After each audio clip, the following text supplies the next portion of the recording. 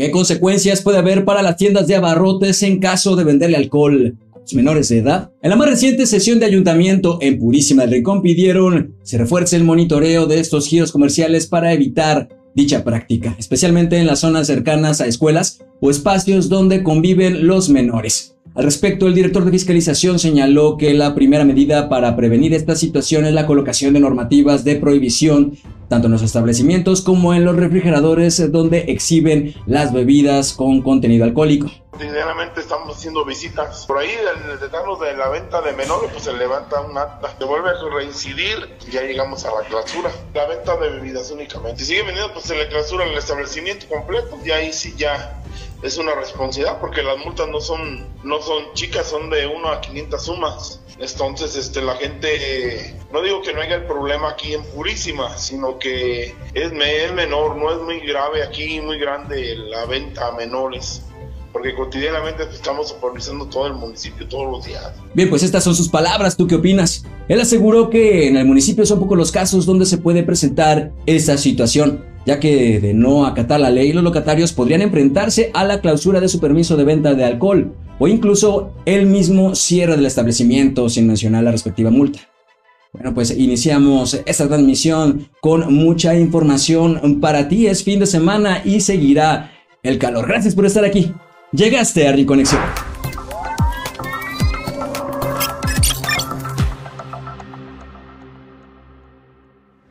Una fractura en su rodilla derecha resultó un joven chocar y quedar en el suelo, junto con sus acompañantes, un joven de 26 años de edad y una niña de 2 años en Purísima del Rincón. La moto fue la única que no se cayó, pues se quedó atorada bajo la defensa de la camioneta estacionada, quedando atascada. Y es que cuando llegaron las unidades de emergencia y de tránsito en la colonia Bello Horizonte aseguraron que en la esquina de Azucena y Cempasúchil, otra moto se les atravesó y en el intento de esquivarla en su trayectoria se cruzó la pick-up estacionada. Sus acompañantes resultaron sin mayores heridas, pero el conductor de 19 años de edad tuvo que ser llevado al hospital e infraccionado por al menos la falta de casco y exceso de velocidad. Y otro obstáculo en su trayecto final fue el factor del choque de una camioneta, pero ahora contra una barda de una finca ubicada hacia la prolongación Josefa Ortiz de la colonia Los Manantiales, también de Purísima. Elementos de emergencias atendieron este incidente en el que no hubo lesionados y las afectaciones se las llevó principalmente la camioneta Toyota color azul. Según versiones, perdió el control por una falla mecánica. Y esta mañana cuando iba a su trabajo en su Jetta 2001, la conductora de 41 años de edad se detuvo sin chance de orillarse ante el humo que salía del cofre que se convirtió en fuego en instantes y justo en la esquina de Juárez y el Boulevard Independencia de Purísima. Ella, nerviosa, pidió auxilio. Tránsito y bomberos acudieron en minutos y lograron neutralizar el siniestro. Sin embargo, fueron evidentes los graves daños del vehículo. Tres hombres fueron detenidos por la policía de San Francisco de Ricón mientras recorrían el Boulevard Juventino Rosas, según confirmaron Alberto N. por posesión de un arma de fuego mientras merodeaba en una zona bancaria misma que había sido envuelta con una sudadera que arrojó el sujeto al ver a los agentes, así como Mario N. de 39 años de edad y Pedro N. de 34 que iban a bordo de una motocicleta. Ellos por falta administrativa fueron arrestados. Aceptaron en el lugar ciudadanos eh, que mencionaron la preocupación por actitudes sospechosas. Ellos fueron puestos a disposición de la fiscalía con lo asegurado incluido la motocicleta. En el mismo municipio esta mañana fue localizado el cuerpo de un hombre envuelto en lo que informaron las autoridades era una bolsa plástica. Eso en el Boulevard Aquiles Cerdán, que fue cerrado a la circulación en el sentido hacia el norte poco después de las 7 de la mañana. En el lugar, autoridades de seguridad federal y municipal resguardaron el área y las unidades de emergencia confirmaron que ya no contaba con signos de vida, quedando sin identificar hasta el momento frente a las indagatorias de los agentes periciales.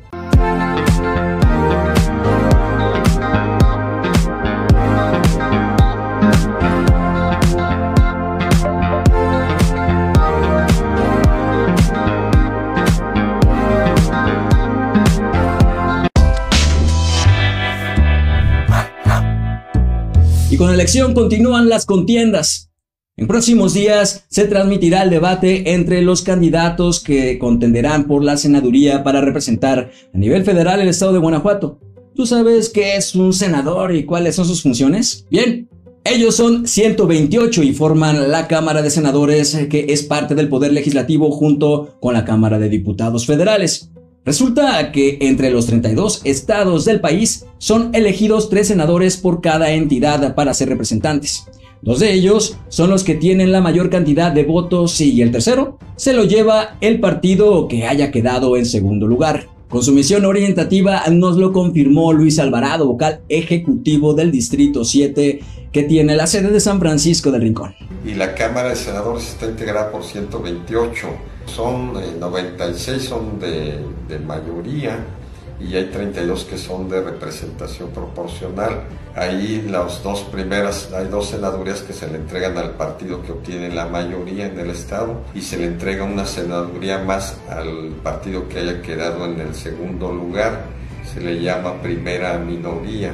Bien, pues él además nos comparte que las principales funciones que tienen los senadores es aprobar los nuevos miembros del Poder Judicial, como es la Suprema Corte de Justicia. Bueno, pues la principal pues es junto con la Cámara de Diputados pues de que aprobar todas las leyes que pasan por el Poder Legislativo, pues ellos son la, Cámara Alta y, y, también tienen funciones también específicas. Uno de ellos, una de ellas es este, supervisar la política exterior del país, pero también tienen que aprobar una serie de nombramientos que se realizan, por ejemplo los de los integrantes del Poder Judicial los ministros de la Suprema Corte tienen que ser aprobados a propuesta del presidente de la República por la Cámara de Senadores. Bien, ¿tú conocías esta información? Esto nos puede ayudar para tomar decisiones para las próximas elecciones, pues eh, como lo hemos ya mencionado, si tu candidato se encuentra en una coalición, bueno, podrás votar por los tres partidos representantes, eh, dos o solo uno, ya que de cualquier manera el voto será para el candidato que está postulado. Pero de elegir candidatos diferentes, bueno, esto podría anular el voto. Pues eso es importante para que la ciudadanía pues no vaya a anular su, voto, porque si no hay coalición y el ciudadano marca más de un partido pensando que están coaligados, como es en el ámbito, por ejemplo, de la presidencia de la República, pues su voto se anularía, ¿no? sí, yo le recomendaría a la ciudadanía pues, que se fijen en el nombre, no solamente del partido, sino también en el nombre de la persona que está ahí en el recuadro, ¿no? Recordar que hay dos grandes coaliciones, ¿no? Pues bien, así es como seguimos con el compromiso de informarte para que el próximo 2 de junio tengas mayor sentido del por qué ejercer tu derecho a votar. Y ahora viene información también importante por parte de Luz. Si tú eres de Purísima de Rincón y aceptaste ser funcionario de casilla, eres uno de los 855 que se encargarán de atender las 95 casillas, que se distribuirán por todo el municipio este próximo domingo 2 de junio. Con orgullo reconocieron la participación de los 45 integrantes del Consejo Electoral Municipal del IEG, quienes serán los responsables de organizar y supervisar las elecciones para que se puedan llevar de manera democrática en cada una de las casillas que se completa con nueve funcionarios, un presidente, dos secretarios, tres escrutadores y tres suplentes. En el caso de San Francisco de Rincón, serán 1.503 funcionarios los que estarán trabajando en 167 casillas que se distribuirán tanto en zona rural como urbana. Y es que no todos están dispuestos a dedicar de su tiempo y compromiso para ser parte de estas elecciones, pero hay quienes aún se encuentran dispuestos para vivir esta experiencia.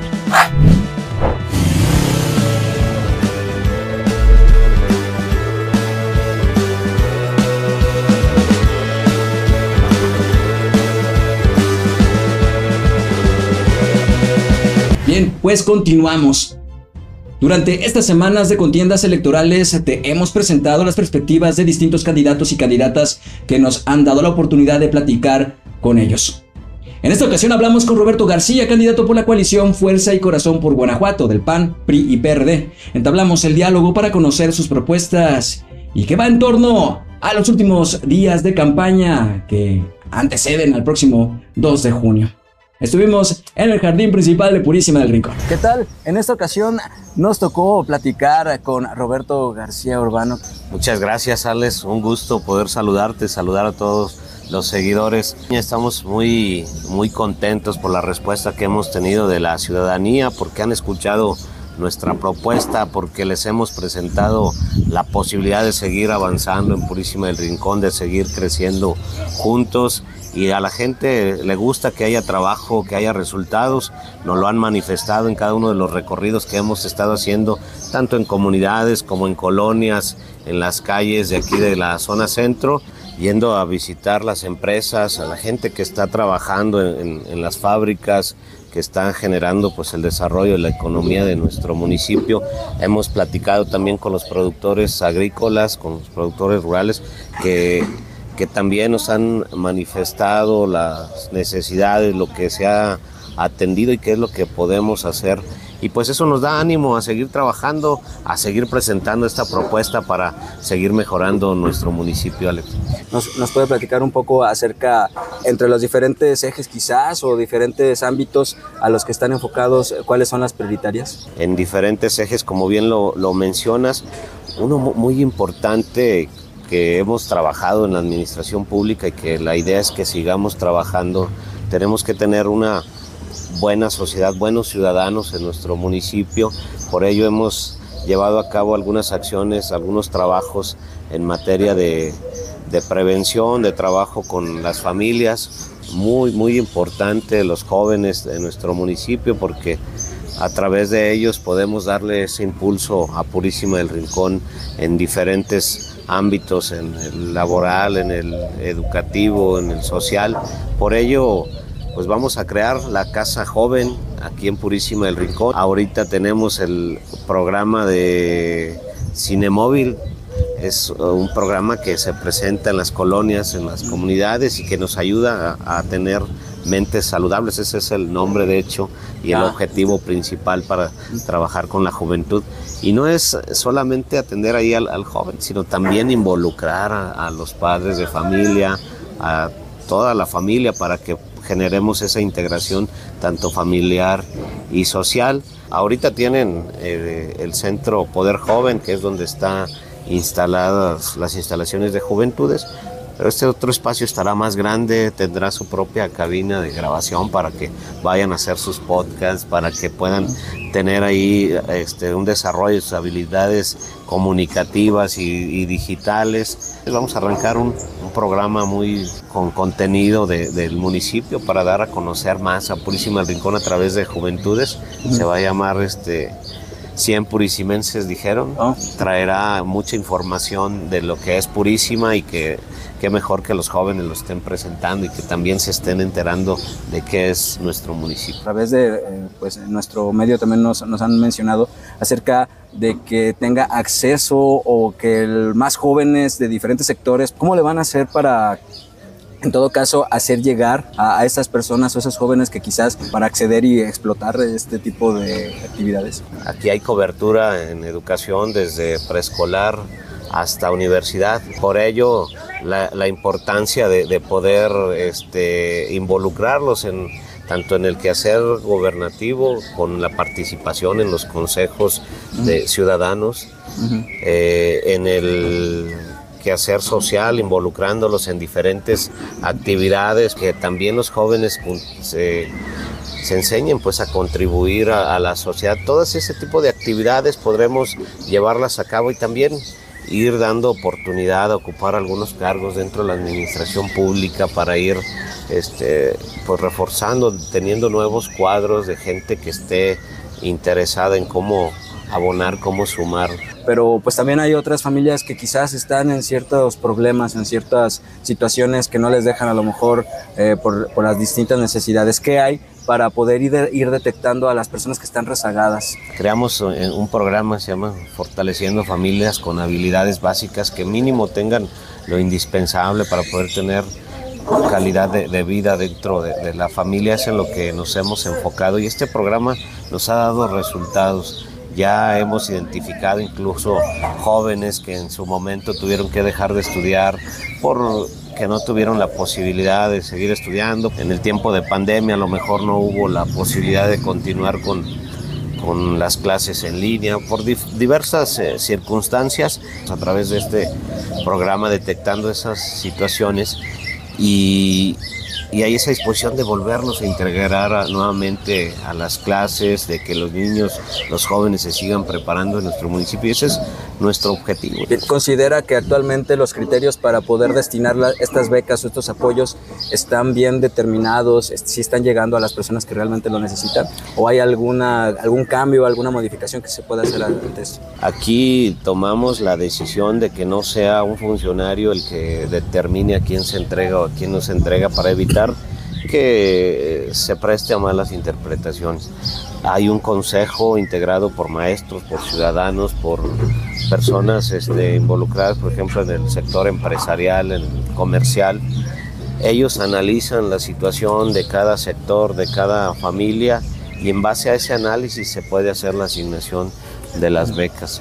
Para poder este, legitimar mejor el trabajo tiene que ser la ciudadanía quien esté definiendo, quien esté atendiendo la distribución y, ahora este, con un corredor turístico que hemos eh, generado, que un pueblo mágico que ha sido distinguido, nombrado a nivel incluso internacional, pues todo eso nos, nos ayuda, como bien lo, lo mencionas, la muy buena ubicación de nuestras comunidades, todas tienen la facilidad de poder acceder a, una vía primaria de, circulación como es la, la carretera este, y, y tenemos que aprovechar esa, esa parte. Por ello estamos impulsando mucho el tema del turismo. Ya hay familias que viven en Purísima el Rincón del Trabajo.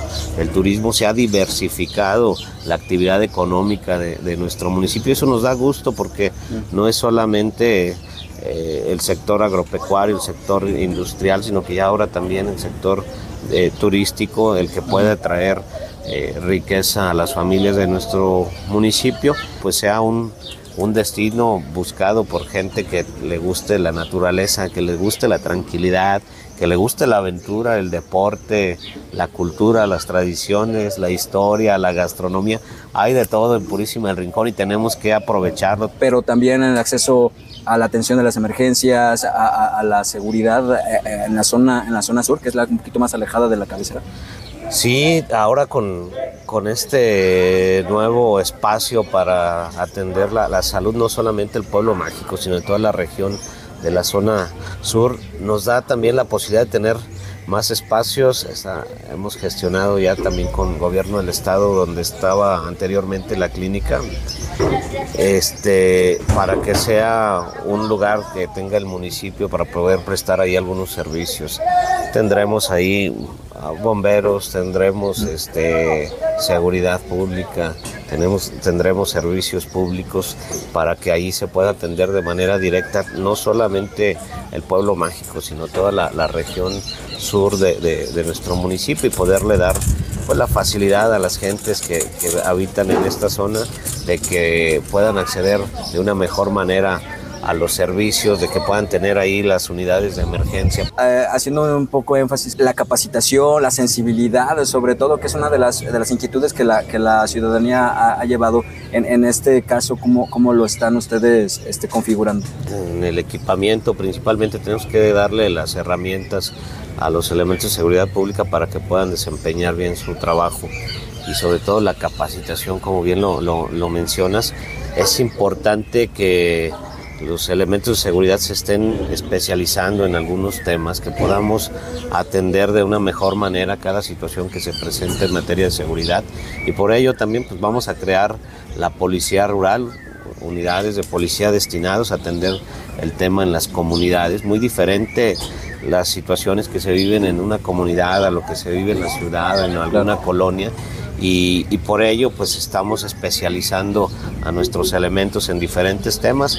Ahora pues con la creación de esta policía podremos tener la, posibilidad, buenos días, tendremos la posibilidad de poder atender el tema ya en las comunidades un poco más específico este nuevo sistema que estamos proponiendo implementar en, nuestro municipio de la videovigilancia, no solamente en la ciudad, sino también en varias partes de las comunidades y la carretera, que es la columna vertebral de Purísima. En todo esto, pues eh, poco a poco la ciudadanía lo ha estado viendo y pues ha opinado, ha habido este, comentarios encontrados hasta cierto punto. Eh, y aquí en, el, en este en el auge de la, de la, campaña. Eh, ¿Cómo los ha tomado eh, usted al respecto? Y también tomando en cuenta pues, los diferentes competidores pues, que, vienen en la misma contienda respecto al, a un pacto de civilidad que, se, que, recién se, se, se firmó. Sobre eso nos hemos estado conduciendo siempre eh, con respeto, con, con, la intención pues, de que la gente pues, no, no la cansemos con insultos, con desprestigio, porque tener un cargo como candidato pues, se requiere tener responsabilidad. Estás representando a una institución política este, que tiene principios, tendrás no solamente la representación ya de una institución política, sino la representación de un municipio completo y por ello pues tenemos que pues que estar acorde a lo que estamos buscando. ¿Cree que eso se está respetando? Pues de, mi parte yo lo estoy haciendo, yo he estado eh, haciendo propuesta a la ciudadanía, he estado pues invitándolos a participar. Eh, pues algún mensaje final que quisiera darle a la ciudadanía purisimense. Sí, pues agradecerles la verdad la, participación, el que también nos estén externando sus dudas para poder estar haciendo algunas aclaraciones, decirles cuál es nuestro fin del trabajo que hemos realizado y que queremos seguir realizando. Tenemos la oportunidad de poder decidir cada tres años nuestro sistema democrático nos da esa posibilidad y no hay que dejar pasar esa fecha del 2 de junio para poder ir a emitir un voto. Queremos lo mejor para Purísima y el Rincón. Yo creo que es un compromiso de todos los ciudadanos el ir a, participar, el ir a votar. Pues al final de cuentas, eh, el que la ciudadanía esté informada para tomar una decisión, sea cual sea y de manera libre, pues eh, abona en este tipo de campañas. Pues al contrario, Alex, muchas gracias por darnos la oportunidad de poder platicar con, con la gente, de decirles que somos buena opción para poder dar continuidad a la proyección, al rumbo que lleva Purísima del Rincón, para poder seguir creciendo. Los invitamos a votar 2 de junio con fuerza y corazón por Purísima del Rincón. Bueno, muchísimas gracias. Gracias. Y pues estaremos dando seguimiento a lo que resta de, de esta campaña y sobre todo para el 2 de junio.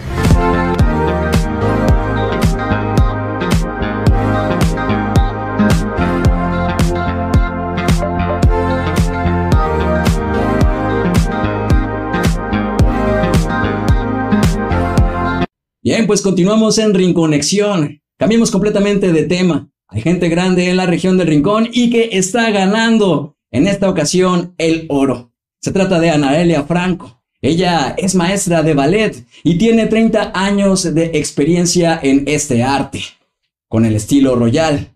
Ahora comparte sus conocimientos con niñas y jóvenes al igual que Alitzel Ramírez. Ellas fueron a competir en un concurso internacional llamado La Musa de la Danza Internacional en Mérida, Yucatán, frente a más de 50 competidoras. Ellas ganaron el oro en la categoría lírico juvenil y pues eh, una felicitación a ellas por representar dignamente el talento que se da en la región del Rincón. Próximamente conoceremos más acerca de la carrera que ellas llevan, compartiendo el conocimiento para generar el germinado del talento entre la juventud de la región del Rincón.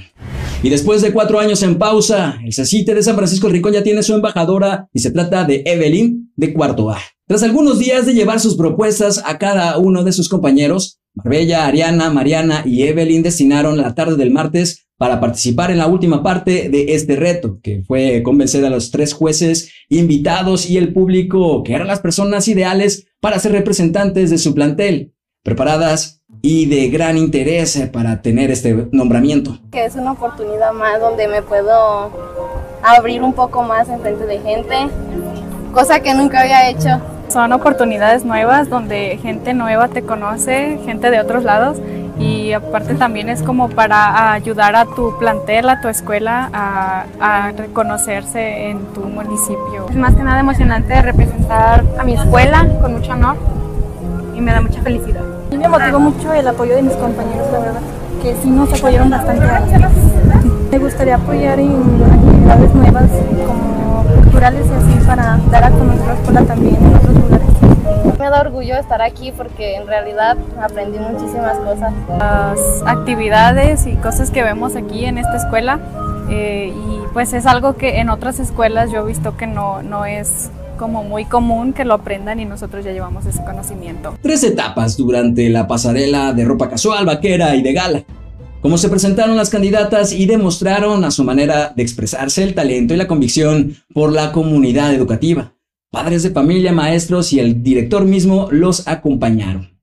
Así como diferentes reinas invitadas que pertenecen al municipio. Finalmente, Evelyn Márquez fue coronada como la nueva embajadora CECITE del año y que fue felicitada por las reinas, eh, quienes expresaron el verdadero papel y la responsabilidad que significa tener este título. Animo a las jovencitas que se animen realmente a participar. Una mujer da el empoderamiento a otras mujeres. Es algo hermoso portar una corona y una banda. Conlleva mucha responsabilidad. Una reina de belleza no es solamente portar una, una corona, sino ayudar a los demás. Es muy fácil decirlo, pero actuar es muy distinto. Muchísimas felicidades, Evelyn. Se ve que tienes muchísimo potencial. Va a ser un reinado que estoy segura que va a contribuir en tu vida de una manera muy positiva. Vas a crecer muchísimo. No te imaginas la cantidad de experiencias que van a sumar en tu vida.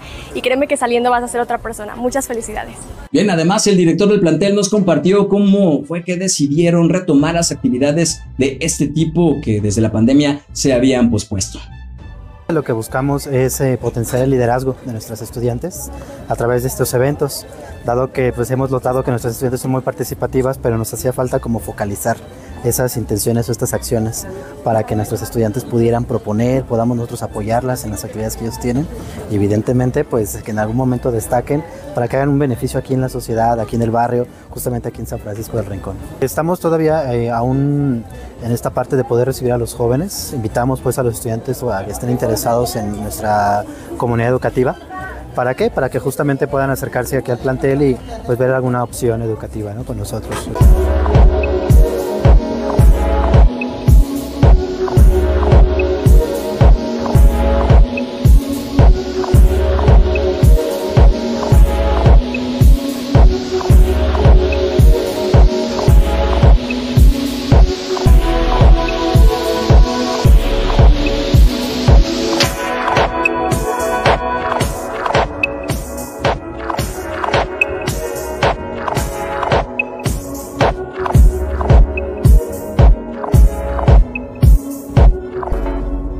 Bien, y sigue la información deportiva ahora en voz del profe Alejandro Hernández. Adelante, profe.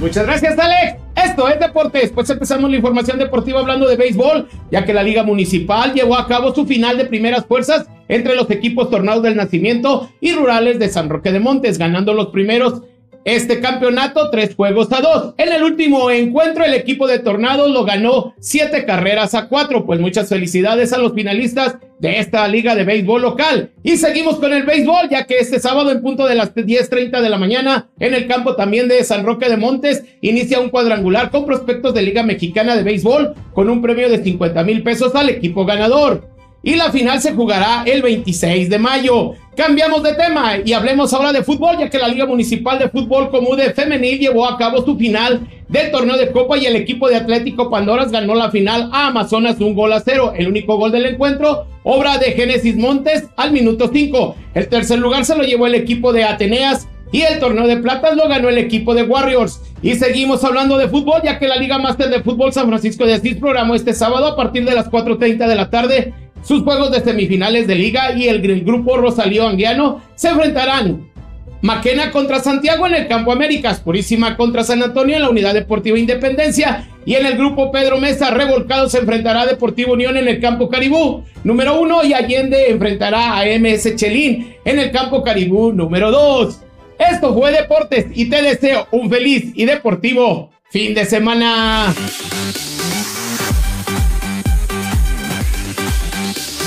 Muchas gracias, profe, por su información. Y bueno, adicional a ello, así como te lo mencionamos en una transmisión en vivo en Facebook, Autoridades del deporte se reunieron en la Deportiva J. Jesús Rodríguez Barba de San Francisco de Rincón para realizar la rueda de prensa donde anunciaron un serial de natación, una competencia que será ya este domingo y esperan reúna al menos a 200 nadadores de los municipios de Silao, León, Purísima, Romita y también San Francisco, por supuesto. Deportistas desde los 7 a los 19 años participarán en las diferentes categorías agrupadas por su edad. Si tú quieres participar, el costo es de 350 pesos y puedes llegar directamente a las instalaciones de la deportiva. Pero si solo quieres ver, también puedes hacerlo y tienes el libre acceso desde las 7 de la mañana. Y bien, continuamos esta transmisión y es posible gracias al Internet. Y el 17 de mayo es el día para conmemorar este invento de la humanidad que ha conectado a tantas personas. Poco a poco más. Bueno, es de nuestra responsabilidad saber si lo usamos de manera positiva y constructiva. Se conmemora la lucha contra la homofobia. Aquí Néstor nos tiene esta información. En 2022 en México se registraron 79 homicidios relacionados directamente con crímenes de a personas LGBTIQ+. Esto según un informe de la Fundación Arcoiris. Pero en el mismo año fueron denunciados ante las autoridades 305 hechos violentos motivados por el odio. Esto pone a México en segundo lugar en número de crímenes de odio en América Latina, solo después de Brasil. El Día Internacional contra la Homofobia, la Transfobia y la Bifobia se conmemora cada 17 de mayo. En 1990, la Organización Mundial de la Salud dejó de considerar la homosexualidad como una enfermedad mental.